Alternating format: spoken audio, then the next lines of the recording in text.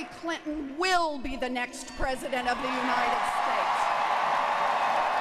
That's right. Hillary Clinton will be the next president of the United States because she knows what it takes to beat a thin skinned bully who is driven by greed and hate.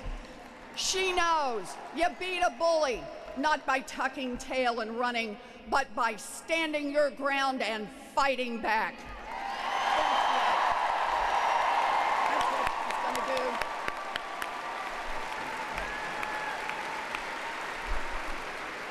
Just look at her history.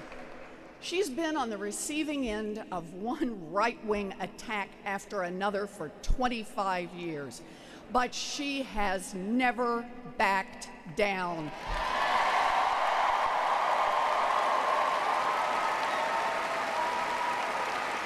That's right. She doesn't whine. She doesn't run to Twitter to call her opponents fat pigs or dummies. No, she just remembers who really needs someone on their side. And she gets up and keeps right on fighting for the people who need her most.